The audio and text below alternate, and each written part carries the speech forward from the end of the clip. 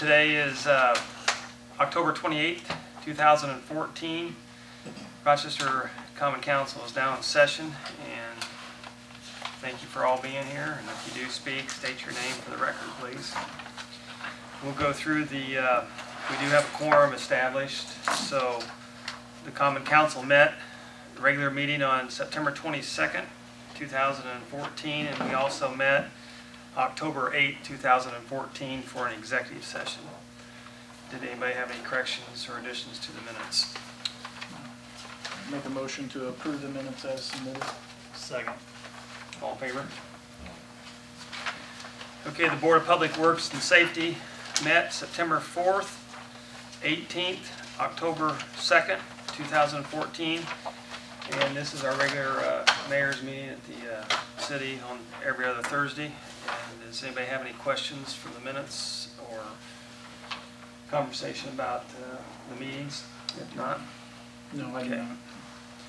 Okay, then we'll move on to uh, advertised the hearing for uh, Fedco today, and Terry Lee, you're here.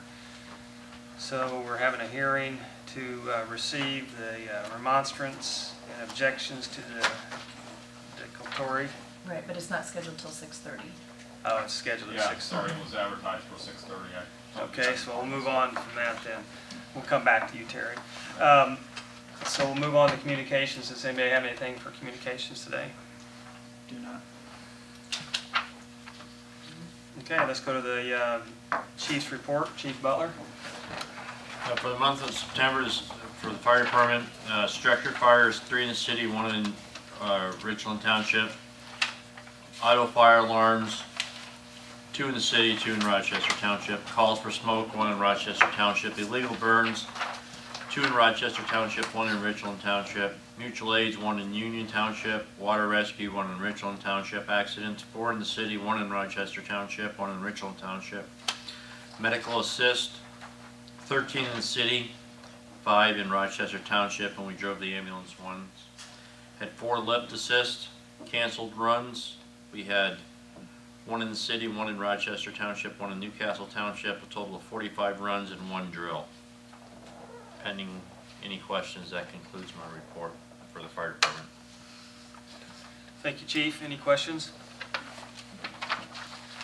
Okay, uh, let's move on to uh, Chief Schatz is not here. Our, uh, you're gonna give the report? Yep. And, Uh, For the record, I'm Gerard Ostrom.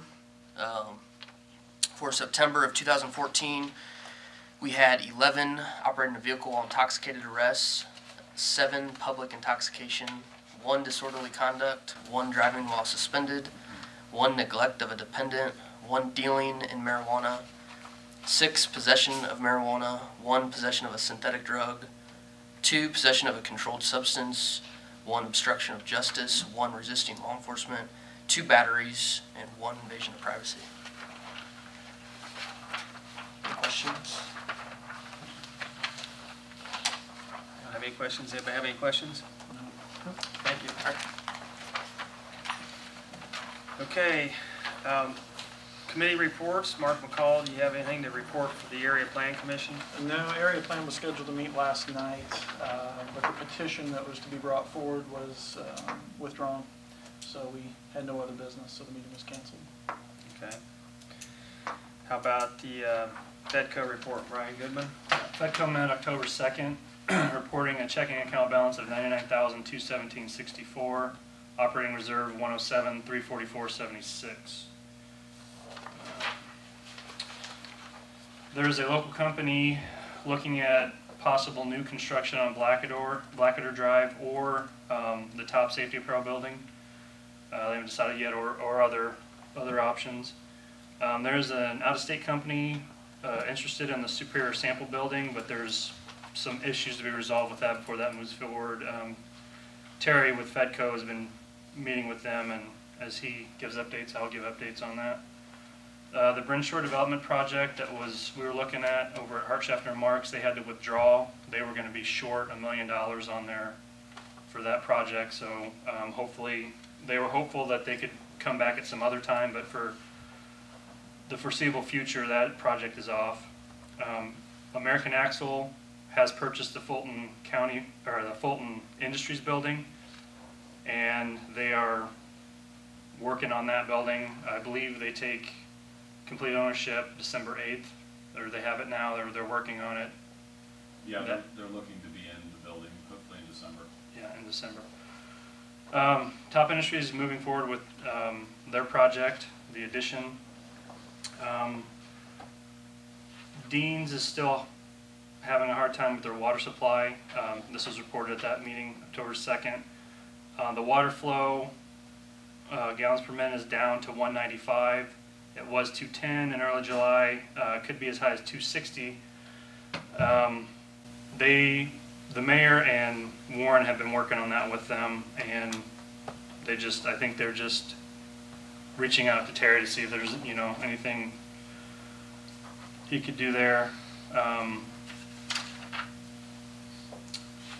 that's, that's about it. Thank you, Brian. Any questions?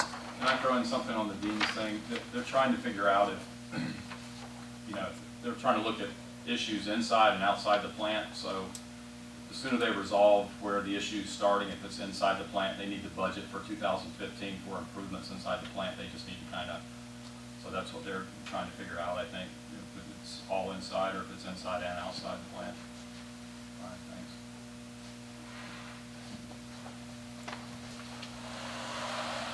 And we're also putting a pressure meter on out there to record the pressure received also, so that's where we're at on our end. But uh, so far, we're moving on our part to do our due diligence as well, so.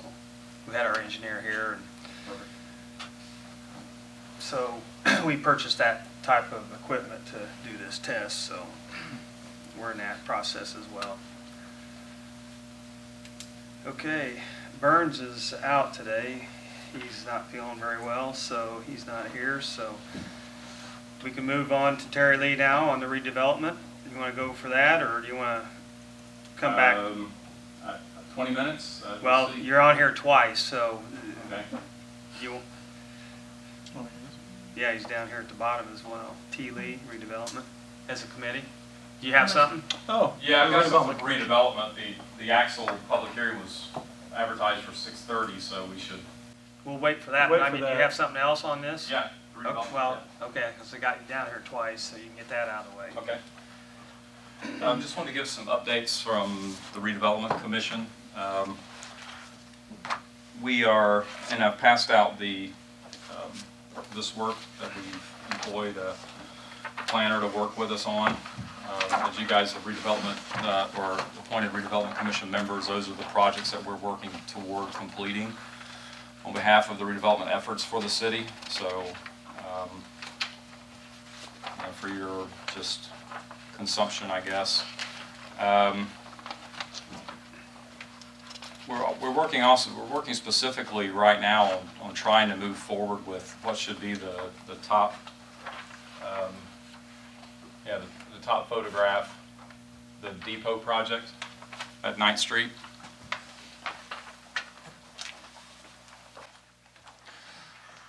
So if memory serves us, about this time last year, uh, the redevelopment commission, or the Nickel Plate Trail actually came and talked to the city about moving, restoring the depot as a trail services and orientation kind of center for the community and trail, et cetera.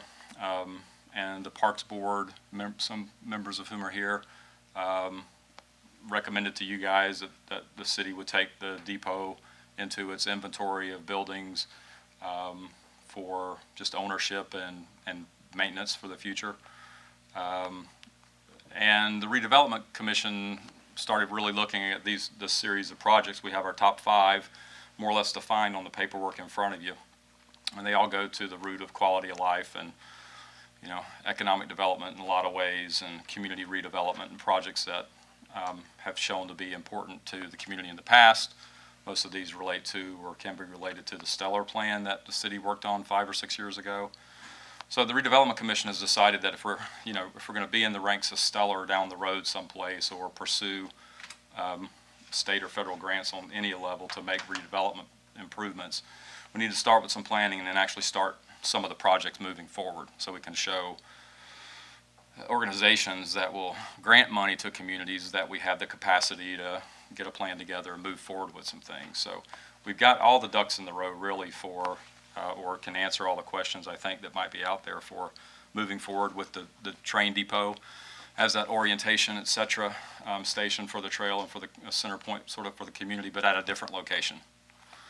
Um, and that would be the location that you see on the paperwork in front of you. So, um, the Community Foundation is playing a big role in uh, partnering with us, with the Redevelopment Commission and with the Nickel Plate Trail um, to see this project happen like this.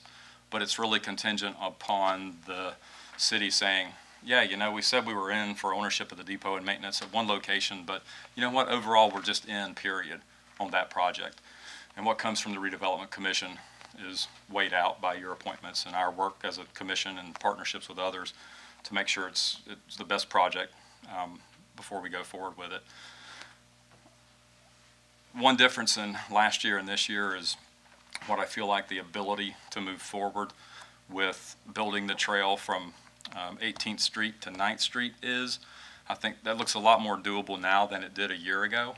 Um, And that goes down to communication with the um, railroad owner, the railroad operator, um, Duke Energy, and a couple other organizations, again, partners that uh, are giving us some good answers to the questions that we're asking. So um, I think tonight, um, you should have from the Parks Board um, a recommendation uh, that the city council move forward with considering accepting the ownership and maintenance with some caveats um, into the inventory and, and so forth, and letting the redevelopment commission and Nickel Plate Trail and Community Foundation, et cetera, go forward with making the project happen, and then we do, you know, the process involves the city taking ownership at the end of the day, of the property at the end of the day.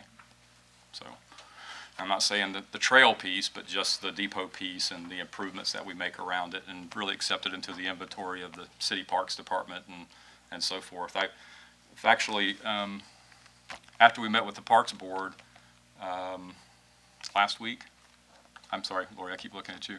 Uh, last week, Kimberly, um, I got the, the parks, the city's park master plan and looked through it.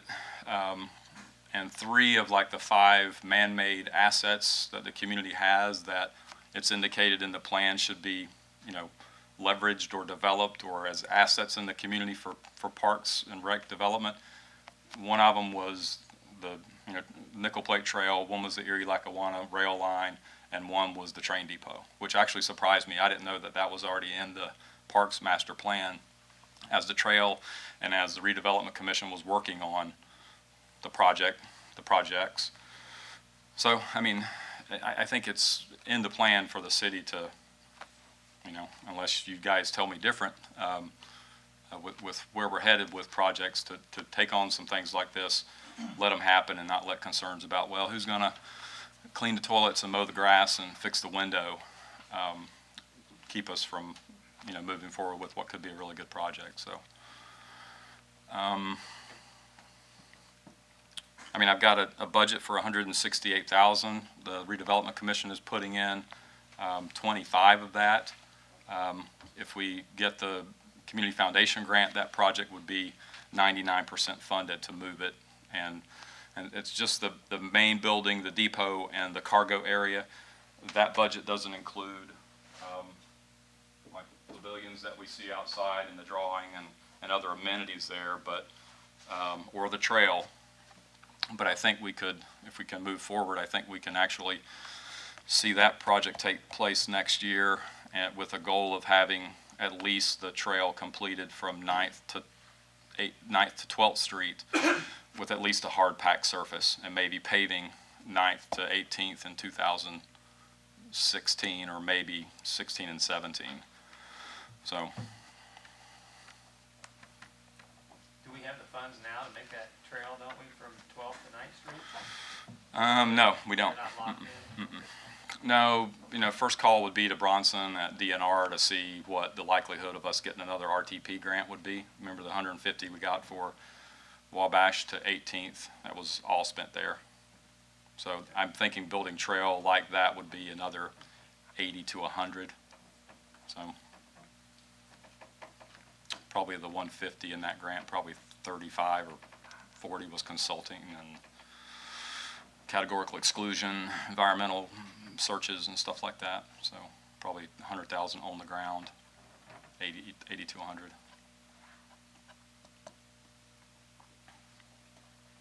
The piece with Duke Energy that's kind of different from last year to this, I talked about some of the things that were going to make it a bit more doable. They're looking to replace their 69 KV, I think it is, line that runs in the western perimeter of the rail line area. They're going to upgrade that. Um, Probably this section, not until 2000, do you remember, Mark, 17? I think they're gonna go ahead and just redo it the way they have it, don't they have it going down Wabash? Yeah, yeah, they, they decided not to change it. They were gonna reroute it and stuff, and they decided not to, I think, but they're still going to replace it or upgrade it.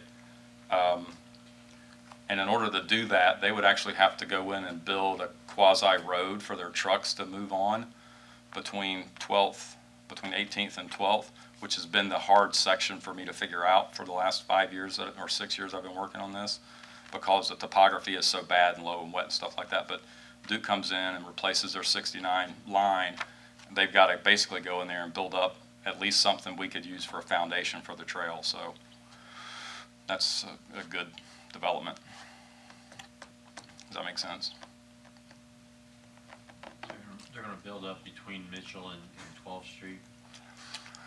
They're going to replace the line all the way from Macy to whatever it is, Monroe Street, where their substation is. Um, in, s- in, uh, you know, Second. Yeah, in sections, different projects, phased projects. Um, They had looked at taking it straight in on the trail all the way over. They decided not to do that, so they're gonna follow the same route. But key to us for this project is, well, it's nice that Duke's, you know, providing that upgrade and service to their infrastructure in the community. But if they're gonna come along and go off the side, beside the rail line, um, and put in a road for their service trucks, I, I, you know, part of our discussion with them was that, hey, we could help out with that kind of deal, so. But I think that unless they move the timing, that their phasing of it, I mean, I could, I'll push for two thousand sixteen, but what they originally told me was two thousand seventeen. But I think that was really based on their, um, original plan to reroute it. So they were planning some additional planning time, which would push it back to 2017, but if they stay on the same route, they may be able to do that earlier. So that goes, would give us contiguous trail from Ninth Street at Wilson's elevator, basically, eventually all the way to, you know, the city pathway in Kokomo, and I think that'd be nice. Reasons for that location is, it's really, um, once you get to that location, you can, there's no question where you are when you get to the community. You can stand there and go, well, you know, there's a ribs place and it smells really good, and there's an ice cream shop there, and, you know, there's a cupcake shop, and there's a bagel shop, and look, there's the county courthouse, and look, that looks like the downtown. You know, we'll have signage, so obviously people can get to the golf course and lake and other things, but I mean, once you get there, you know you're in commercial Rochester and that can make an impact. It's kind of cool too, when you're on the trail and you look up and you see Wilson's elevator, which is really tall and white and stands out. People are going to look forward to getting to that. Oh, that looks cool. They get up there and they get closer and it's like, and a depot too, you know, I think that's going to really make sort of a, a statement. I think eventually I'd like to see, um, I mean, I think part of our plan actually is to, and there was some hesitation from the Parks Department on this. Um, I mean, it needs to be available for a bike shop to rent it, or the farmer's market to rent it, or, you know, for community events rentals, like, you know, different, you know, just different community needs or whatever, meeting places for small groups and stuff like that, a show, a show place really for, you know, I mean, Rochester was based on the Michigan Road and the two railroad lines back in the, back in the day, you know, back in the eighteen hundreds, it was about railroads, lake, of course, and Michigan Road, so it was one of the founding reasons that Rochester was founded. You know, we talked, Bob Goodman talked about, why don't you just do it? I'm just gonna talk right up to the public hearing unless you guys stop me. Um, So, I mean, actually, I, I'm kind of at a point where I need to know if this is something that we, you know, you guys will approve of. I'm sure you have questions. Um, Mark and Chase have been to some of the redevelopment commissions as frequently as they can make it, so they've been in the loop with, with our discussions. Um, You know, I, I apologize to anybody that hasn't. I know, Mark, we've, Mark, you've been, you're in the know in terms of the park, through the Parks Board and stuff, so. Um, You know, we're trying to get the second grant from the Community Foundation really soon, so their biggest question is who's gonna own the building when it moved and who's gonna, um, agree to maintain it? And if you look at all the partners in play and what you guys' master plan is, it seems to be something that would fall under the city's domain or whatever, so. Seeing some Burns isn't here, I'd kind of like to hear from the park board what their take is, because Burns wasn't able to give a report. Well, you've got the uh, We've got three park board park members board here. president Or and two. two members Three, here. Three, yeah, I thought we had three. yeah. So They could probably speak for themselves. on Steve it. was hiding back here, behind Gerard. We already agreed to take ownership of this, but at a different location. My thoughts were, why put it in a location where the people of Rochester really can't enjoy it, as opposed to moving it someplace else where it's being plain view of everybody driving up down Ninth Street, plus people that's gonna be using the trail.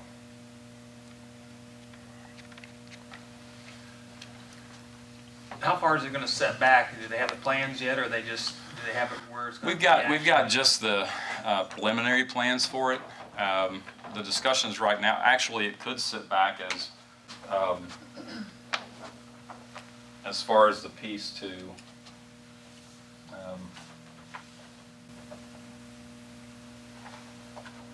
no further back than the Tenth Street intersection with that piece of ground.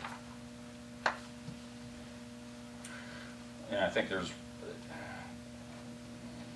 Because it's deceiving now, because that's, some of that scrub trees is part of the area you're talking about, would be Yep. dozed out. Yep. It's just not the parking lot that you see, well, it's not a parking lot theoretically, but they use it as a The whole- parking. The whole rail Yeah, it's- area. it goes that whole way back, and I think Wilson's own that whole part back there. I don't even think, it's an alley too, but I think they own the whole thing anyway. Yeah, they own a lot of width in there. It's like hundred and twenty feet off the center line, which gives me hundred and twenty feet to work with.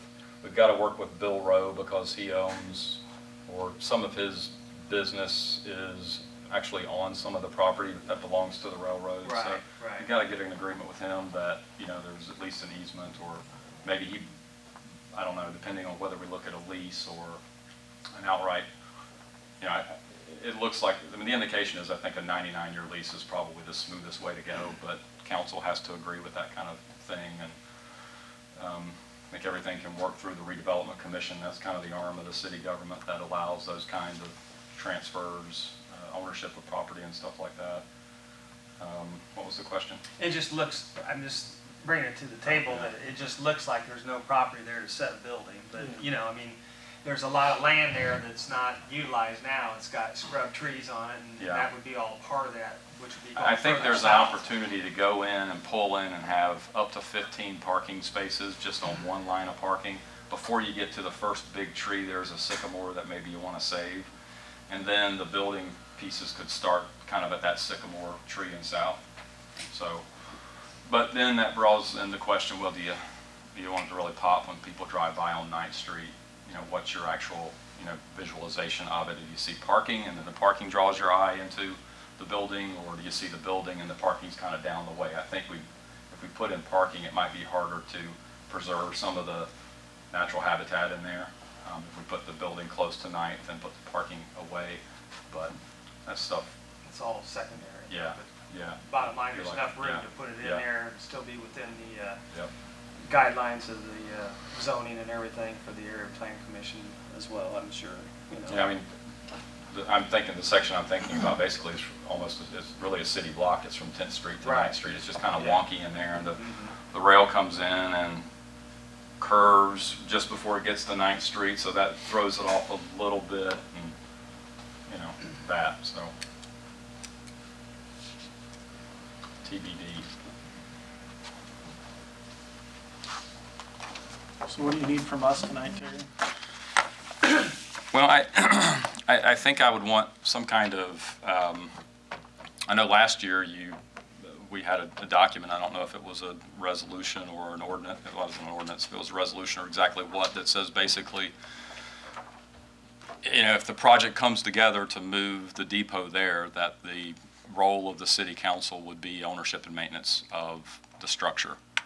Um, I think that's what we did last time when we Yeah. were gonna move it on the, uh, park over by the, um, golf course. People's Park. People's Park, Lake, is that what, People's Park, is that the real name, or Lake, Is that it, Peoples? whatever, it's there by the golf course. People's Park. I My that was- question would be if we could amend our existing resolution, I guess that'd be a question for Andy, if Hmm. we could amend the existing resolution and modify the location, since it already has every, all the pieces in place, or would you prefer You a new could, but I resolution? don't, I don't think you can, uh, oh, you you could. Yeah, I mean, uh, did we do that by written resolution? I believe it was, because it was for the Mhm. grant, it was specifically for the Northern Community, Mhm. the NCIF grant that they applied As for. long as it's unanimous. Now, does that have to be unanimous by everyone here or all Yes. council? It has to be unanimous by everyone here because you have to do ordinances and resolution by majority of the entire council. Okay, so we have a quorum. So if we voted, um, would we actually, am- could we actually amend that resolution tonight? Or would that have to be advertised as an amendment to the resolution? No, no, no, you need to advertise it. Okay. Amendment to that resolution.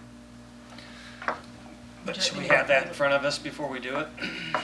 You know, I mean, what are you gonna amend by? I mean, Yeah, that, that resolution also said stuff like, Yeah. because we were looking at, the city was gonna plummet, Right, at that time, because it's, yeah. yeah. There's, um, and, uh, water, you know, there was gonna be a few Sewer and things we water. were gonna do, cause that was all right there where it was gonna be last time, so we could just tie into it Yeah, for the water and sewer, so. which I don't have anything, I don't have any commitment on the part of the city. Um, Whereas at that time, I showed those as in-kind services for the grant. Um, I don't have um, foundations, corporations, Walsh Electric, Nickel Plate Trail. Um, Other than through the redevelopment commission's funds, I don't have anything on that budget for the city in terms of plumbing or sewing or any construction, parking lot or anything like that, which was probably part of that resolution. So tonight, if we give you, if this council here would give you the blessing to go ahead and move forward, we mm-hmm. could get the resolution and bring it back to the council and then do it proper, I think. Yeah. Okay. Right, Andy? That's fine. Unless you can whip it up in five minutes. I can actually pull it out pretty quick if you want to look But- at it. No. I think, Well, the more, If I- we just- the more I think about it, you know, we did have that in kind. Right. So we could get the grant. So is the plumbing and the water? I don't know where it's at offhand. We're gonna have to do you revisit still need where. that From the city? I've been out there with, um, was it Warren, maybe two years ago? The And I sewer haven't- Highway. Yep, well, no, it's on, um, the street there. Franklin? Um, Not, Franklin, Yeah. back at Tenth. Franklin and Tenth, yep. The I'm- water, I I'm- think, is the one that, the ma- water main, I- I think, I is the don't one know. that I goes to the highway, isn't I it? can't remember where it's at, to tell you the Franklin. truth in that area. It's like at Elm and, Elm Street and Tenth Street. Elm and Tenth. Yeah, there's a hydrant, I think, right there at Elm Yes, Street. Yeah, and then, because there's an alley that runs parallel to this, there is, there is a hydrant there. So But is, there's gotta be water that runs down the highway too, to feed the houses on, uh, fourteen on the Mhm. south side. I'm not sure what side it is. Well, it, it is on the, the hydrant is on the, um, So I wonder if Where's the south side?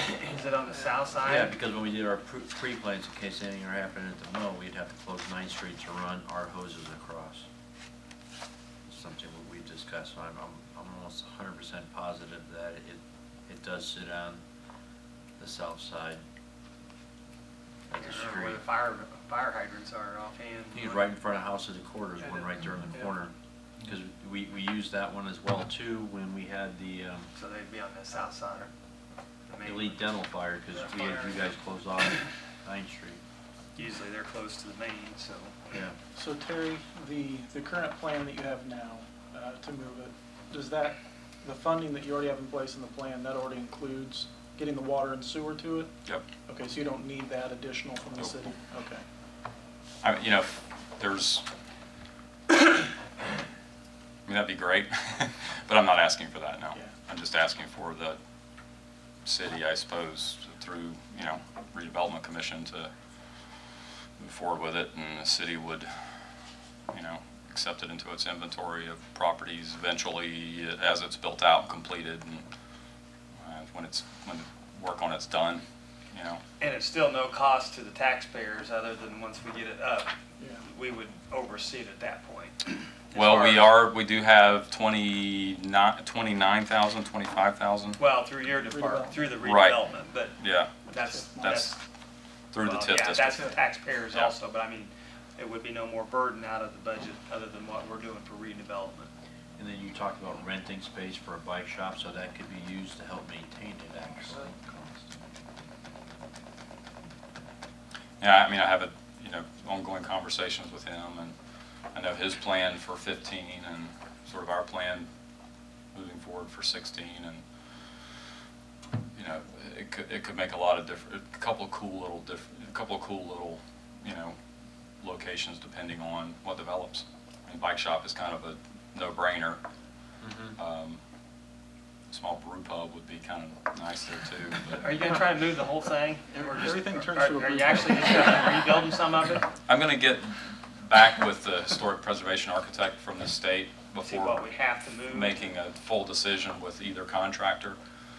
Um, And the idea, and I've got a couple of different guys telling me a couple of different things, that's why I'm gonna get back to the um, HP architect. Moving the main part, you know, as one building down the road on trailers and jacks and stuff. And then the cargo area probably would be moved in, disassembled and moved in sections. It doesn't have, it just has that concrete dock as a floor for most of it, so it really doesn't have its own, you know, structural floor in it. So that come apart in sections. The roof on it is good metal, so it would just probably, you know, for that section be taken off and it'd be taken off in sections and moved. And then how you reassemble it in terms of your doorway locations and things like that, you can, uh, you know, kind of cobble around based on, you know, your concept. Uh, How does it work best for a bike shop, for instance, if that's still part of the conversation, so. And then with this depot, the restoration is gonna be historically preserved. Again, Jim Kienle, um, K-I-E-N-L-E, E, has been here and looked at it and been through it, so he's on the ground level before anything like moving it takes place, before even find, before even talking to the contractors again, the first step would be to get with him and see what the proper way of managing that kind of project is from a historic preservation standpoint. Yeah. The Zents and Wilsons have some of the, like rosettes and pieces of wood trim and stuff have been taken down, but fortunately, a lot of them were taken down by those guys, so they have some of that stuff, you know, to go back on the, on the building. Could be really neat. Kimberly was in it this week, and I think Steve was in it this week. Can that floor be safe? Um, I think so, yeah. The Amish guy says you can. Okay. I just saw one hump in it, but other than that, it looked pretty good. Yeah. I think it's a good idea. Well, does the council want to make a motion to go ahead and move forward on this? And then, do we need to make a motion on it tonight for you, or just Well, I- I- I'd like verbal? him go ahead, I mean, I'd support it, but I'd like to, to have a, a new resolution, Yeah. uh, Put together? put together and present it, but I would be in support of, of this project. That's what I, Chase, Brian? so, So, I just don't think so. So Andy, uh, for next meeting, we can probably put together a amended, re- new resolution, but amended for the new location, so. Thank you. So do you Okay. want to do an extra motion then, or just? I don't know if it needs a motion, does it? Yeah, just- If he needs the resolution, you want to wait on the resolution. Right. I just wanted to make sure before I put that in. Yeah. We're all in agreement to move forward, so. Okay, now, since it's six thirty, you want to do your, uh, well, it's six thirty-seven, but uh, let's go ahead and uh, do your public hearing now for uh, Fedco. This is um, for the, let's see. If you look at your paperwork, the last, um, you know, the bottom, that's the declaratory resolution that we passed in September um, to establish the economic um, revitalization area around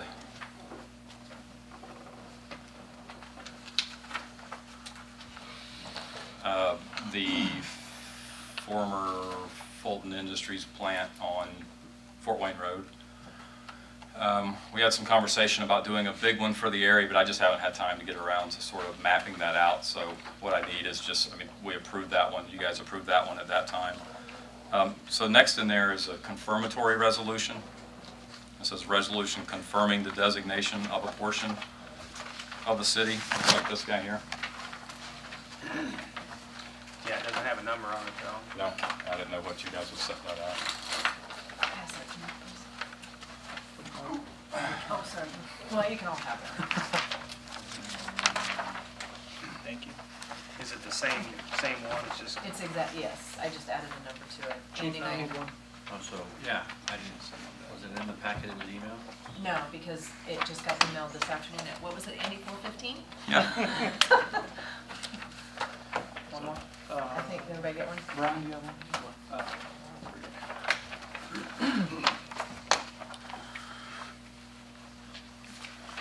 so that resolution needs to be motioned, seconded, and voted, and accepted to confirm the establishment of the redevelopment area. Um, And then also tonight, you would be approving in the public hearing the SB one, which is a statement of benefits, which looks like this guy, Exhibit A. Or the American Axle? Yeah.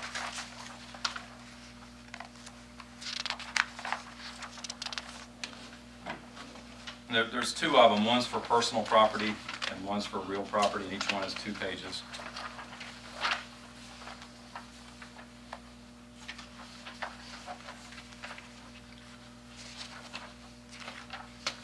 The SB, the Form SB one for real property, signed by the company.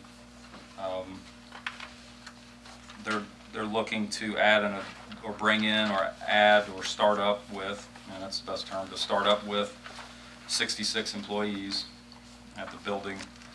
Um, I think I've shared the um, wage information with you guys. Um, Which is for the record, two million? uh, Yeah, total is 2.288 million as it's projected right now.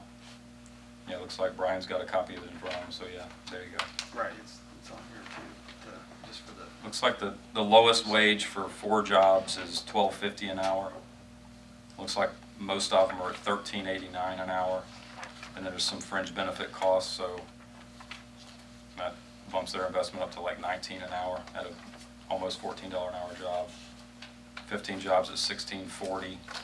You got the numbers there. Six jobs at seventeen seventy-three. So we need to, we need to, I guess, review uh, part of the statement of benefits. There's just a couple of blanks on the back that need to be completed, and that's basically agreeing to, or what I'm suggesting is that we allow a 10-year property tax abatement on the real property that's currently assessed at 1.38 million dollars, $1,380,000. So a 10-year abatement at 100% deduction the first year and a declining rate. So 90% deduction the second year, 80% the third year, 70% the fourth year, and so on until they- until the 10 years is, is gone and it's back to, there is zero deduction. So that's what I'm recommending for the real property. And then the personal property, and to back up on that, Terry, that's Absolutely. the average that we've been given in the past, Yeah, correct? yeah, that's been kind of the standard from the research and projects I've looked at, so. What the state allows a community to do is grant up to hundred percent on real property and personal property for up to ten years. So that's what's allowed by the state. Um, And so what we're talking about is kind of our standard, which I think, you know, these guys, can't say that. Um, These guys um, um, really approached me from what can the state do for me? What can the state do for me? What can the state do for me? They didn't really ask much about what can Rochester do for me? Or what can Rochester do to sweeten the pot or, you know, throw some money at us to come here kind of deal. I mean, they were, you know, they, they did ask the state for as much help as they could get from the state in tax credits. And um, also, um, training funds. They're looking at maxing out the state's um, grant for training, which would be $200,000 in state grant money, so they're going to spend another 200 at least on training. Um, And they also got a nice uh, income tax credit. I've got those numbers here someplace.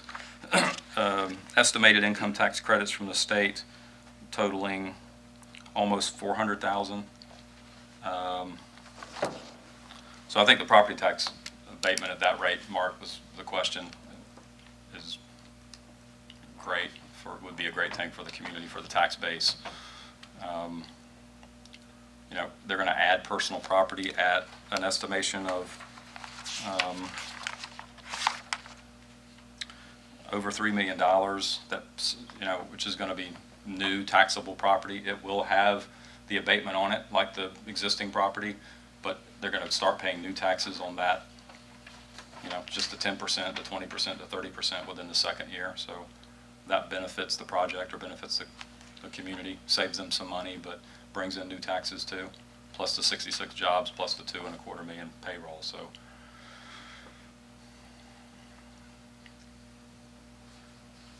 So then what you're doing tonight through the confirmatory resolution is confirming the res, the declaratory resolution that set up the economic revitalization area and approving the SB one, which is the real property and personal property forms, um, for basically what they're estimating their investment is gonna be and et cetera, so. And-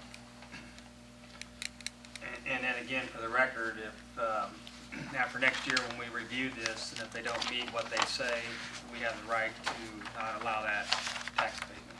Yep. So, Correct, Andy? Anything else before we uh, make a motion? Terry, maybe you said this, uh, real property first, uh, blank in the ordinance is ten years. What did you intend for the second? Oh, um, I think it's five, isn't it? Yeah, that was, that's up to the council really. Um, the recommendation is five. Right. The recommendation on the real property is ten. Again, at Personal, personal property. hundred percent, ninety percent, eighty percent, and the personal property is five at hundred percent, eighty percent, sixty percent, forty percent, twenty percent in terms of the deduction per year. So that one goes off after five years.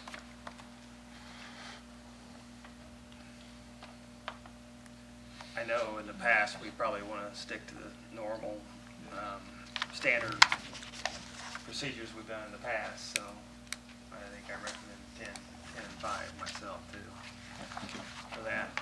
Do we want to, uh, make a motion for this and then do, uh, the resolution separate, since that should probably be read a little bit at one time? Um, Since it's a public hearing, Yeah. we have to give the opportunity to speak for and against. Okay, we're still in the public hearing. Does anyone in the public want to speak for or against this, uh, project?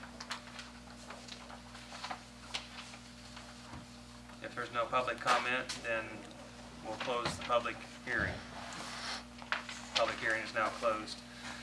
So now I'll entertain, uh, a motion either to do the resolution number 14, 2014 first, or since he just talked about the, uh, tax abatement, I'll entertain a motion on, uh, the exhibit A and, is it, uh, exhibit B, or it's all exhibit A, right? And the exhibit A Exhibit- is an exhibit of part of the resolution, correct? Right, So it's all one, right. so. I'd make Yeah, the that- confirmatory resolution is what we need to pass, and then the SB one is approved through that, Right. yeah. Okay. Uh, I make a motion for the uh, reading of resolution number fourteen twenty fourteen um, in its entirety. I second that. Okay, then we'll have to have a second motion to approve these then, right? No, that That's gonna, that's gonna part be of part of the this, so the tax abatement will be part, part of that. Okay, so we got a motion and a second. All in favor to, uh, read one time in its entirety? But, uh, the entirety, or are you talking about these exhibits as well, or just, No, just the, uh, Just the pages. resolution. Okay, 'Cause I'm- resolution. I'm Okay. guessing the resolution refers to the exhibits, yeah, Mhm. so you Yeah, have to okay. do those. So we already talked about Ten that. and five, ten and five, right? Yes, yes. Okay, we got a uh, motion, second, all, everybody in favor? Did you vote already? Okay, four zero. All right, resolution number fourteen twenty fourteen, resolution confirming the designation of a portion of the city of Rochester as an economic revitalization area and approving SB one.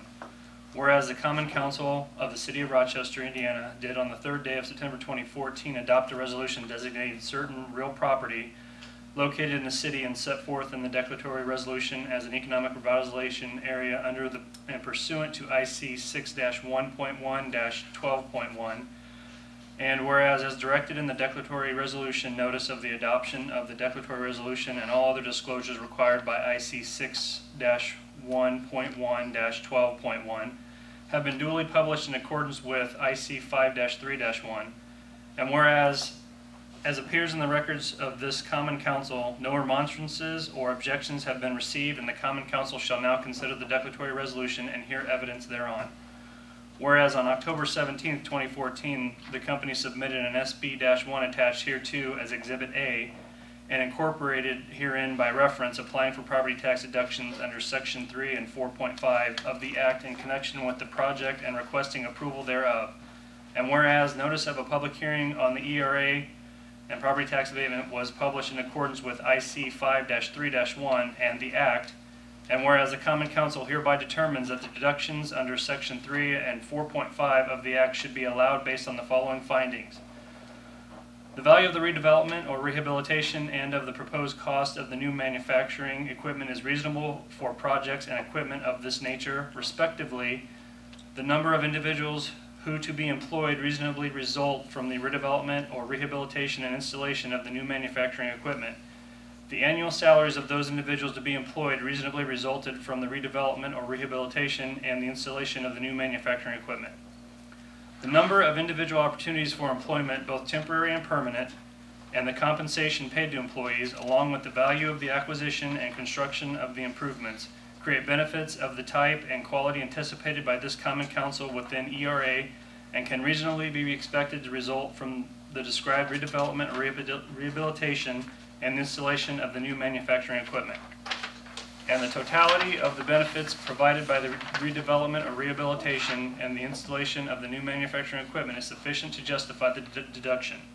And whereas the common council hereby finds that the purposes of the act are served by allowing the deductions provided by section three of the act for a period of ten years, and by allowing the deductions provided by section four point five of the act for a period of five years. Now, therefore, be it resolved by the common council of the city of Rochester, Indiana, that Section 1, the declaratory resolution as adopted by this common council on the 20th day of October 2014 is now and hereby in all things ratified, approved, and confirmed. Thank you very much. Section 2, the company shall be entitled to deductions approved by Section 3 of the Act for a period of 10 years with respect to real property which is redeveloped or rehabilitated as contemplated by and reflected in Exhibit A and shall be entitled to the deductions provided by Section 4.5 of the Act for a period of five years with respect to new manufacturing equipment which is installed as contemplated by and reflected in Exhibit A.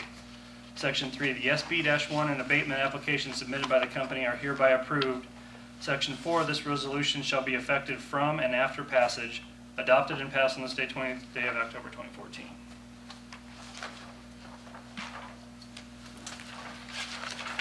Okay, any questions? Uh, I move for the adoption of resolution number Fourteen. fourteen dash twenty fourteen. I will second that. Any discussion then? If not, I'll take a vote, all in favor? Four zero, okay. Resolution no- number fourteen twenty fourteen passes. Okay, Thank you. If you guys don't want these, I'll take them back. Everybody keeping? Simon keeping? Thanks, guys. Thanks, Terry. Thank you, Terry. okay, let's move on to, um, we got the Rochester BCA and uh, Mark's out, so we'll have to catch up with him next time. Uh, Chase, do you have anything on solid waste or animal adoption? Um, I was not on, at either meeting, but I did include the minutes in the packet, or it in anyway. Okay. Any questions for Chase on that? Anybody has anything? Okay, uh, tree board, did you have anything to report on, uh, Tom, the tree Uh, we board or had- EMS, EMA? Mr. McCray uh, from 307 Main Street came across and he's requested permission to cut down a tree at his own expense. Um, That was granted by the, um, the tree board. Uh, Warren was actually in attendance and uh, we discussed the budget. He's going to ordering um, some trees to be replanted and going to continue to try to get some matching grants to the DNR. Um, And uh, they're actually gonna try to pull out the last inventory and see how that relates to where we're at now as far as our project and uh, to make sure we stay in good stands with the Tree City requirements. Uh, EMS, their fund reporting for the month of September uh, was up from last year. Uh, The same time last year was fifty-eight thousand nine hundred and forty-five. This year it was sixty-two thousand one hundred and fifty-eight. They had a total of a hundred and seventy-one calls. Uh, the EMA met, we are gonna have our county exercise, uh, November eighth. Gonna t- try to cover the volunteer management, uh, all the departments and agencies in the county will meet out at Winfield Crossing. We're gonna do a tabletop exercise. Uh, It's gonna cover a, uh, a chemical spill, uh, that's what the state requires, and then they'll, we're gonna have a, uh, donation management, it's a new thing, um, if we were to have a natural disaster, people wanna donate food, water supplies, um, other, other assets, you, you actually need someone to take that in, inventory it, management, and get it out to where it properly needs. And it, we need to mitigate the people wanting to come in, um, hey, I've got a chainsaw, I wanna help cut trees down. Um, so we're gonna try to work on that and, and work that into our, our plan as far as a, a, a county to make sure that we're prepared for something like that if, if it was to happen. Uh, again, moving forward with, with other things in the box. Talked about uh, communicating, communication exercise, did an after-action review, all that was all favorable findings. Um, And they're gonna, gonna be a storm spotting class coming up, and I don't have a date on that yet, but they're scheduling that through the National Weather Service, so once I have that date, if anyone's interested, that'll be a certified National Weather Service spotting class gonna be offered. Pending your questions, that concludes all three departments. Thank you, Tom. Any questions? Um, Garrett, John's not here today either, he's out on vacation, so, uh, unfinished business, we were talking about the, uh, street parking, and Mark and, uh, Bob, or Bob, Brian, close, same family. Um, Do we have a, uh, we haven't confirmed this into an ordinance yet, have we, Andy? So we're still talking about it? I know. Had a concern brought to me um, from the school through, through Skeeter, actually, um, on Barkman, between Third and Fourth Streets, one way, but they wanted to- the ordinance to include some no parking signs up to like fourteen thirty. So uh, there's people as early as one thirty before school gets out, start. One ten today. Start blocking it up and should there, uh, we ever have a fire alarm or a medical emergency at the school, towards the end of the day, it gets hard to get any, any, uh, anything down Third Street out to Barkman to get in front of the, the school. They, they pretty much bottleneck that pretty solid, pretty, pretty early, so, uh, school's out at two forty-five, so we, we don't want parking there until about two thirty. And that, that's the school's recommendation, I mean, they, Skeeter's been sitting there watching it, came and talked to me and asked me what I thought, how we would get the trucks in, and, I mean, we would probably just go down Fourth Street and try to get around, but if we needed to get in front of the building, or even if we had to get to the fairgrounds, um, or, or out in that general area, uh, Third Street and Barkman are, are pretty well bottlenecked from about one thirty on till the end of the school day after three o'clock. Did Chief Shots get with you? I hadn't, I've been in to see him a couple times, Mr. He hadn't been in, and I know he's away at training this week, so I never got a chance to talk to him. Okay, Um, and I know you and I had spoken, you told me what direction I needed to go, and I read it in the paper that you were gonna do some stuff tonight, so I went and talked to Tom real quick, just to see where we needed to go, if we could do anything tonight. Well, I think we want to do it all in one ordinance when we get it together. We don't want to piecemeal the ordinance. Um, I know there was some questions about the one-way parking. I, I know there were some of the members, I can't speak for them, but I don't know if I can favor parking on one side of the one-ways yet. I mean, that's kind of a lot to, I mean, you could still put part of it as a bike rail. Um, The one picture has a Right. bike rail on the one-ways. Right, if you look But you at can still park on both sides of the, uh, Fourth page of the packet, Terry gave us how the, the um, bike routes are supposed to go, and they're primarily Madison and Jefferson. right, the one-ways. Right, and those are the, those are the two that we were waiting on. I think everything else, we just need to decide which side to go with. Yeah, I mean, it, the concern I have is if we don't make it uh, mandatory parking on one side only, then we're gonna have exactly what we have now. Right. And, you know, I know it's ideal for people to use the sidewalk, um, but going up and down those sidewalks, you can't easily get a bike up and down some of those sidewalks. And what we want and what actually is happening are two different things.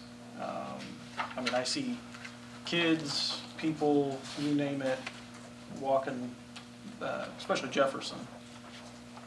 And with cars parked on both sides, you know, there's some close calls there. Um, Somewhere I saw, did I see one that they had the park, or the bicycle, was that on the computer, or? It And was, then- but they still can't park there, but they, somewhere I, th- they had just two lines, like, Mhm. next to the parking cars. Yeah, put it on that side of the car, but we don't have a wide enough street to make that safe. Um, You know, I saw there, there's a road in Mishawaka that's done that exact same Right. thing, uh, but you don't see people parking in between that spot. Uh, Because now, if- if, especially, once the leaves are out, people parking a little bit further away from the, the curb so they're not into the leaves. There are still people using that uh, to walk and to bike. And, you know, the thing I'm, I'm most con- concerned about is just safety. Um, And also, I think it would look good on a safe routes to school um, application as well. Um, And then on, further down the road, you know, if we do want bicycle traffic to come in, um, if we're gonna draw that traffic into town, if you drive around, our downtown's about as unfriendly to bicyclists as it can be. Uh, Main Street is not designed people to ride their bikes up and down. There's not a single bike rack um, in the downtown. There's barely a bench down Main Street. That's true. You know, we're telling people right now, we don't want you in our downtown. unless you are. If we can use the side roads as that cycle track, which is the idea of the, the redevelopment commission, you know, that, that will funnel bicycle traffic, and can get them a safe spot to, to ride their bikes, you know, I think it's a, a good way to get people downtown to visit some of our, our locations. And then the added bonus is during the winter, if we have them on one side, snow removal will be a little bit easier. Last year was rough, driving up and down those one ways. And those are some of our wider streets. Um, And I know that was the, the issue that brought one-sided street parking before the council, uh, especially down, was it Monroe? It was really rough over on um, Fulton. Uh, There's some spots. Spots between Fifth and Sixth Street. but, you know, we also have other, other areas that are of concern. And, you know, this was a, a big enough project that it's one of the top five for our redevelopment commission. So how far are you proposing one-ways and which side of the streets? Uh, redevelopment commission I've got is the looking uh, thirteenth to fourth, up and down Jefferson and Madison. third to thirteenth, fourteenth to sixth. And, you know, the side of the street would be up to the city.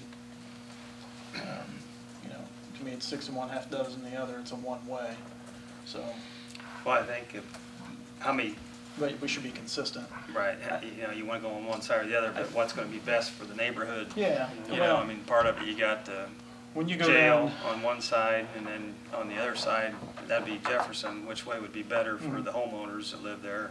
well, Jefferson, you got homeowners on both sides. Most of the way, you got a church on one part, you know, you got a doctor's office on one part, so Yeah, I think but- that needs to be weighed out, which way you, would be the best proposing. Yeah, and the, uh, And to minimize the uh, remonstrance. yeah, well, there's, there's going to be a remonstrance. I mean, there- there are gonna be people that are upset. Surely they not. have to Park on the other side of the road. You can direct them all to the mayor.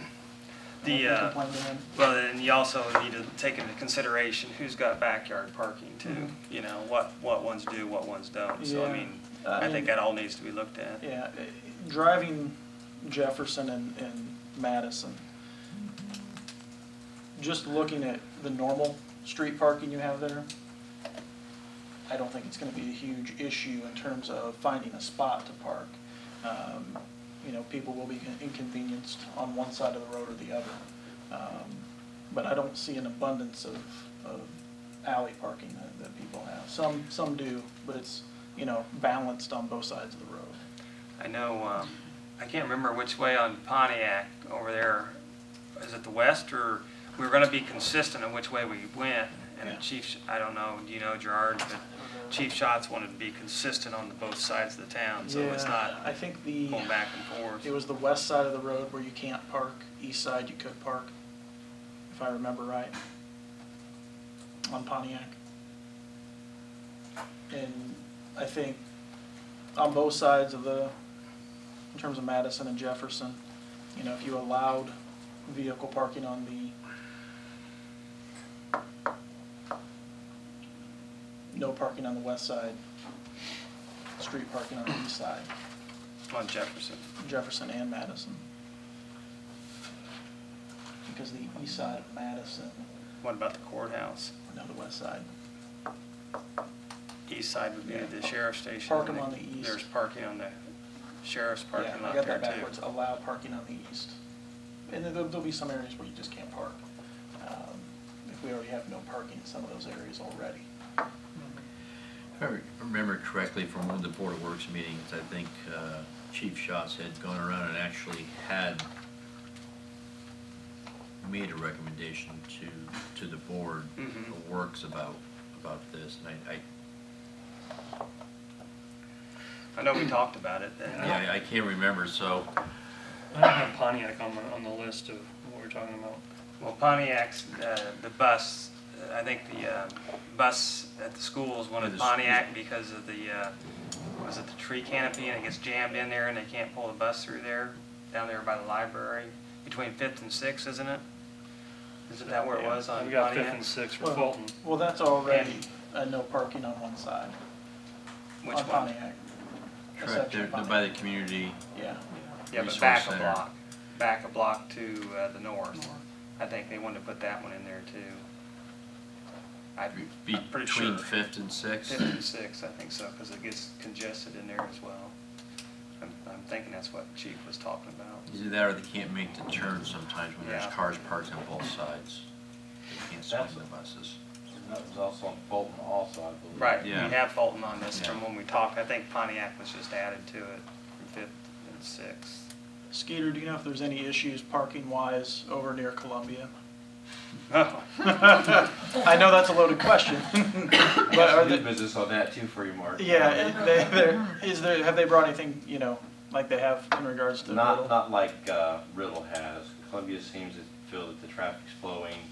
I know, when I talked to Andy briefly, he had some type of idea for Fifteenth Street there to relieve that traffic there in, in the evenings, but I never got back with him on what his plan was there. Um, As far as the front of the school is clean, it's just that Fifteenth Street to Elm seems to be the congested area in the evenings. Well, we need to um, get it together and get it a a- a preliminary ordinance, is that right, Andy? So we can move on this uh, next meeting. It's gonna be winter time for number one, I mean, as far as the snow plowing, so. When, when you decide what, what you want on what streets, yeah, like they won't take, No, we, we still do have the, the snow emergency ordinance Right, that you park right. odd and even. Odd and even, on- right. on- As far as the calendar days to help with the snow removal. It'd be a lot handier if we could get the sidewalk, or get the s- street signs up and get them ordered, Mhm. you know, no parking and, you know, bring it together, so. Get with, uh, Chief Schatz and which side you're talking about on the one-ways and propose it on an ordinance and then we can bring it to the table next meeting and vote on it. Um, So which side do you wanna go with, uh, I you know wanna Bert- talk to Shot, or Chief Schatz on it? I think Yeah. Burns expressed, you know, make sure it's the, we're not, you know, west side in one block, east side in Right, another yeah. part of Be town. consistent. Be consistent. Yeah. So it's not more confusing than what it needs to be. Yeah, I, I, I haven't got with Between both Chief Schatz, chiefs. but- but I, but I know he, he did drive around and looked, and he was, I think he was kind of doing a survey of who had driveways and off-street parking Mhm. available, and he was, I think he was kind of, I, I know he mentioned that to the Board of Works, but I was, I was in the back and I really Right. wasn't. um, Well, I recommend both the chiefs get together for the safety of the fire and the police, you know, and then let's get them to do the, uh, pre- Yeah. prepare it to Andy, and Andy can prepare the ordinance, and then we'll take a look at it the next meeting. Yeah. I was gonna say, if you want me to meet with you and Chief Schatz, I'd be happy to. That's fine. We'll just, whenever he's, he's back, whenever you guys want to get together. Um, Mark, when they talk about that, one of the things that Skeeter had mentioned to me before the meeting that he wanted to bring to your attention this evening, I don't know if it would be in the same traffic amendment or not, but The parking at there Riddle? was, it's actually at Columbia. There's Oh. a concern there with one of the stop signs, but I don't know if it would be a separate traffic issue or if it'd be on the same ordinance. I would not put them somewhere else. Okay. And I can, but I would say. Yeah. Well, I don't know, because if you're amending our existing one, or how that was gonna fly, so that was why I wanted to make sure he, his concern didn't get overlooked. Okay. Okay. Well, you'll hook up with Chief Schatz, right, Skeeter, on that and your concerns? Okay, um, So, I mean, we, we couldn't pass, like I said, anything now, if he, if, the- if the school wanted just one lane, parking only in front of the school at this time, because it's our street, even though it's in front of their school, but that was something. which street? Were you looking for action, the Barkman, were you looking Oh, for action tonight, or you just, Just wanna get it out there and see what direction, how. Right, How we need to get it done and get it done right the first time. right. The one lane thing is just a suggestion, it's your street, you handle how you want. Um, But I mean, we're, we're congested there from one ten till two forty-five, two fifty every day. Um, So there's no through traffic there on Barkman Drive from Third to Fourth Street during that time. You have a lady on the corner, there in the brick house, Mrs. Geyer's house, he's got cancer real bad, her concern is not getting the emergency personnel there when needed. And she has no problem with posting the signs on that side to kind of give not only me teeth, but the police department teeth to go down and say, look, you need to move along and come back at this designated time. And at that time, you're still filling up both of those lanes at that time. I know you guys passed don't know how many years ago that been, to make that a one-way, um, south. So if you wanna make it to one lane, to leave that one lane open to get congestion out and around it, that's your, that's on you guys. Well, most of that from uh, Third to Fourth on the east side is all parking anyway. I mean, the school owns the other lot, is where you're talking about. Right, the empty lot there. Right, so nobody's gonna want, nobody will holler about no parking there that lives there, because nobody lives there. Right. So, I mean, that would just just, concerned about getting the traffic through. right, flow the traffic. The flow of traffic and keep it moving so it doesn't bog down your emergency people. Okay, we'll get together with Chief Schatz and Skeeter and Mark, you can give them your input as well, um, and for the safety. We'll get with Andy and have him propose it to the council next meeting. Okay? Okay, so moving on to the dog ordinances, um, I did, uh, talk to the mayor, uh, Burns had talked about, uh, the mayor, uh, Tony, um, is it Warcheski? I think his name is, from Lafayette. He sent me, he sent me a copy of their ordinances, and I didn't get it, it, they get it scanned, but, uh, it's, um, they updated theirs, but they talked about the uh, vicious dogs, but I don't know if they really had done anything on their ordinances on that. Yeah, I, I know someone took a concern before them, but I don't know if it ever Yeah, got passed. I don't think it got passed, um, but he sent me his, uh, ordinances on, uh, animals and the changes and for feral cats and free roaming animals. They do have some strict, uh, ordinances about feeding feral cats unless you're a, um, a special type of outfit to take care of feral cats. A lot of people do feed feral cats, you see them in the neighborhoods. So that is becoming quite a problem, I know. And the, um, From what I saw that's out there, you know, there are a lot of basic uh, ordinances, and this is what Andy put together, um, just from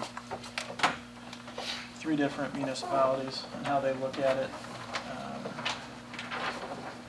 You know, and I know we talked about not getting breed specific, Right, um, And I could only really find one that listed a, a certain type of breed. mhm, I think our, our general concern is uh, dangerous dogs and what are the penalties? um, You know, for the first offense, second offense.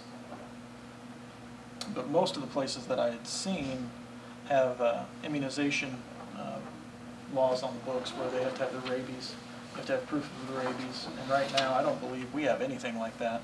I don't We, recall we seeing may, it. we may have it in the ordinance, but it's not being enforced. Right, 'Cause I remember years ago, you'd have to buy tags for your dogs. Right. correct, and that's still on the books too. Yeah, and it's, I don't know how, how or where it's being enforced. I did speak to the animal shelter called this afternoon and spoke to me and said that if they would be willing to help you guys with any of this process, if you so wish their insight, because they've had, uh, obviously in their environment, they've dealt with other communities and stuff as well, so they said they would be more than happy to work with you to try to help come up with a, their biggest concern was to make sure we did not get breed specific. And I told them that that was right out of the gate, the council was already on that same page, so. So on this, do we want to, um, review it and then bring it back up? Yeah, I mean, I would like to, kinda- Burns was the one who brought this back up. Since we have two other members, Burns, John, and Mark, Mark are here. Yeah, I mean, because we do have something on the books. It's just, I don't think it's been touched since the late seventies. So- Which is the case for most of our, Yeah, so, you know, and fine can be fines. eight bucks. Right. I don't- I don't know what it Right. is, but there's Yeah. very little teeth to it. Well, the other, the other one I'd like to see enforced too is uh, cleaning up dog feces, you know, I Mhm. mean, it's uh, very rude for people to walk their dogs and not clean up after them, so that would be the, right along there to stiffen that where the police department can kind of enforce that, I don't know, it's a tough one to enforce too, though, but uh, I don't know how you do it, Yeah. You actually have to catch them doing it. yeah, but, there was somebody that actually, was it at one of our Board of Works meetings? Um, somebody had suggested, I wanna say maybe Plymouth Dog Park, I, I know it's a dog park, but they actually have like a thing, a post where they put out some Right. bags that people can, I mean, again, it's another management thing on our part. but- right. Yeah. They have them, they have plastic bags in them and they have a waste basket in them, so. And then you gotta make sure they get emptied,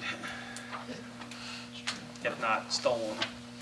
Yeah, I would like to, but I would like to see everybody take a look at this. and Yeah. Bring suggestions back if we could. So let's do that and, okay.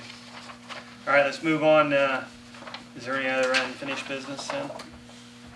Let's move on, uh, Doug Oaks here, you're talk, you're here to talk a little bit about the solid waste, so.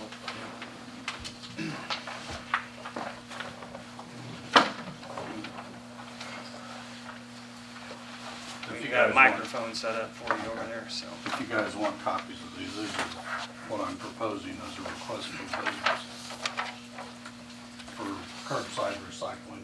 And put your TV face on. This is my TV face mark.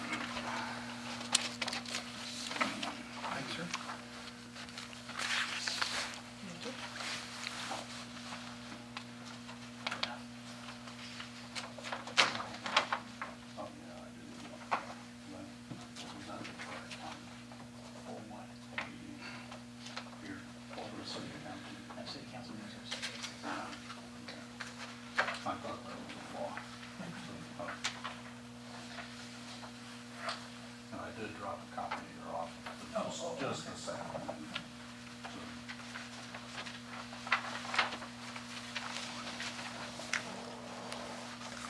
Okay. This is basically the same request for bids that we've done the last, I think this would be the fifth time. Um, And the deal is that this would just be for one year, with one year option to renew if both parties, well, if neither party chooses to opt out. And in the past, we did it three years with the one-year option after that. Um, And that's totally because the solid waste district, we may not have the money to pay for it. And we're not asking the city to take this on, the city have to pay for it.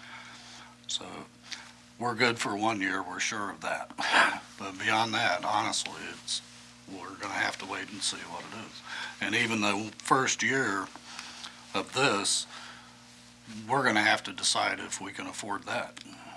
But we can't really do that until we get the bids, so we don't know for sure. We can kinda have an idea, I think, of set a limit on what we can afford, that's what we've done in the past. And then when the bids are open, if they're less than that, fine, if they're not, then the solid waste district has to consider it again. Um, And that happened once where we actually had to raise the amount that we were willing to pay, but it was for the towns, it wasn't for the city of Rochester. Um, And we are trying to do Fulton, Kewanna, and Akron, and Rochester. Um, So they would all be applicable here. Uh, It's conceivable, I think, that the bids for Rochester might be so high that the thing that we can end up affording is actually to have curbside collection in the three towns and not Rochester. But I hope that doesn't happen. But again, we just kind of have to wait and see. Um, I dropped a copy of this off with Andy this afternoon, but just this afternoon, so I'm sure he hasn't had any chance to look at it, but, um, there's at least one typo in it because I made a note that the city council meets at seven thirty, so. It was dumb luck that I just happened to drive by here about quarter till seven and saw all these cars out here and figured that I probably had the wrong time written down. Um, Anyway, like I said, these are essentially the exact same ones. I had changed dates on them um, that we've used in the past. So if the city's okay with that, Andy's okay with it. Uh, And any time that he spends working on this, the solid waste district will pay for it. We always have in the past. Um, So if you guys are all right with that, I'll try moving forward with this and get them to the prospective bidders and get it advertised and all that. And then, and the, also in the past, the way it's worked, and I don't, didn't bring a copy of it, but the solid waste district does a contract to provide for payment. And the contract is between the district and the city of Rochester. And I'll certainly get a copy of that to Andy uh, too, so he can see it, but uh, that's the part the solid waste district has to come up with how much we're willing to pay. And, and that, in the past, that's always actually been on the contract, and the contract's been a public document before the bids were open. So, which kind of, I suppose, would give prospective bidders an opportunity to see the maximum amount they could expect to bid. So maybe we should hold off on that. So then, let me get this straight, you're gonna put Okay. the bids to the city council to open up the next council meeting, Yeah, right? yeah. Six o'clock, Yeah, I put will that on the change that. agenda then, for the next meeting? And do I have the date right, November 25th? Yes. Okay. Yep. Okay. You know, you and I talked also, Doug, that, uh, and I, I know, excuse me, I know I've talked about it to some of them, uh, during, uh, my department heads about, we're gonna have to look at, in the future, about, like other cities, and Andy, I talked to you about the trash pickup. Um, Terry, Mayor Terry McDonald from New Haven, they do uh, mandatory trash pickup, one contractor, and they do the billing through their contractor. Even though the city, like you and I talked about, if we couldn't do that, but he told me they do it through their contractor. But in the future, what's gonna take place is if we bid this out, if we do this through the city, like we were talking about, if we run out of money with the solid waste, that we bid it just the same as um, Plymouth did in, uh, up north. They were picking up their own trash when Mayor Senter took over there when I came aboard.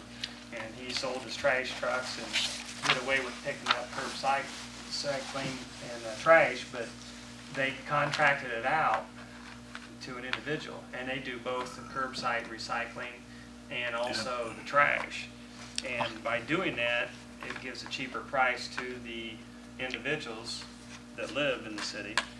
And, I mean, it's all over the board right now if you uh, price your uh, trash pickup. And then to the positive part of it too, you only have trash trucks coming down your street once a week instead of two or three times a day or every day. Because we have so many contractors that come in here.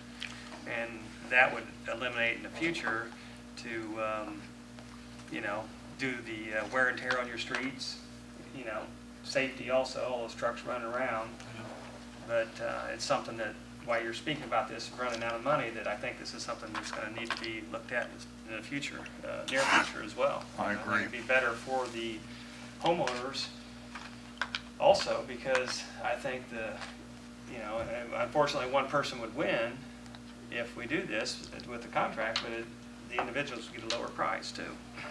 Well, I spoke with the clerk in Plymouth this morning Yeah, and got a little bit of specific information, not a lot. She was pretty busy, the but. one that retired or the one No, that the, just took her the place? new one, the one that just Okay. took over, because she kept having to ask other people the questions I was asking her to get the answers. Um, It is, they, Republic Services Right, used to be Key Waste, have got, has the contract for both recycling and trash. And it's every week collect, collection. Uh, there are six holidays where their collections moved a day ahead or a day behind. Um, They charge them fifteen dollars and eight cents for weekly trash and recycling collection. They provide two different toters, one for recyclables, one for trash. Um, The one rule they have, besides there being specific things that can't be in there, like television sets, which is illegal for them to pick them up, um, the lid of the toter has to be able to close. And if it does, that's okay is that a week or a month? a week. And, well, I mean, it's fifteen dollars and eight cents a month, A month? but it is weekly collection. Right, And whereas it, we're all over the board here. and Plymouth does bill it on their wa, on their water bills. Uh, and then something else, and I know it's been a while since we quit having, uh, whatever you call it, spring cleanup or whatever. Um, and I get so many calls about that. I can't imagine you guys don't also get a lot of calls, but, um, one thing that's included in that is that one time per month, the household can put out one large item. And I don't know what their definition of a large item is. I'm sure there's a limitation on it, but, um, she, she was, made it abundantly clear that I could get a copy of all their information since it's public documents anyway. So, so it might be a good place to start, looking at what Plymouth did. So, so she talked like it seems to work pretty well. Um, and something else she told me too was that the toters that Republic purchased them, and now the city owns them. But Republic, during the life of their contract, is responsible for maintenance on them.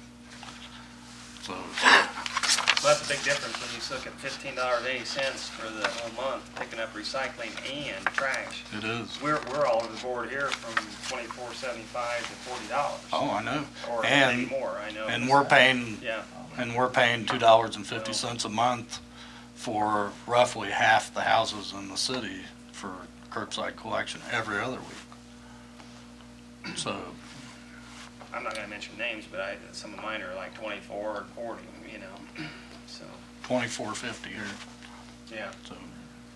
So is it twenty-four fifty? So I'm looking at it. But that's something that's gonna come down, and that might be the time to make that move, is when we do the recycling, because if, we don't wanna qu- cut out recycling. I think recycling is a good thing. Yeah, So, I think, you know, I know when I mentioned this before, just casually talking on the radio, I got two phone calls right away by independent, independent contractors about, you know, so, but it's something that needs to be looked at, you know, so, I mean, if we can better the community and, and still go green with uh, recycling, I think it's something that we want to think about in the near future. And the financial savings on part of the residents of the city is huge. Well, not I only mean, you're that, but the talking beating up of the many roads. thousands of dollars. Oh, yeah, I And know. those trucks running up and down residential neighborhoods, Yeah. you One of know, our towns is uh, alleys. and alleys When also. up and down the alleys, Uh, they're just not made for That was something else too up in Plymouth with It's all out Republic. front. It's all on the street because those trucks can't go down the alleys Right. to, and pick stuff up the way they have to. So, Some of them are because doing that already in the city. Yeah, yeah. So are we okay with these bid specs if uh, Andy says okay with them? Other than the date Yeah, I don't wanna yeah, with corrections. for the time, The time. Didn't say it on there. Do we need a motion for that? Or just go ahead and we'll bring it back up on November twenty-fifth, six o'clock? Will do. Thanks. Thank you, Doug. Uh, Andy, do you have anything with, uh, legal department today? No, nothing in addition to the, the handout for the, uh, various dog ordinances, nothing in addition to that. Okay.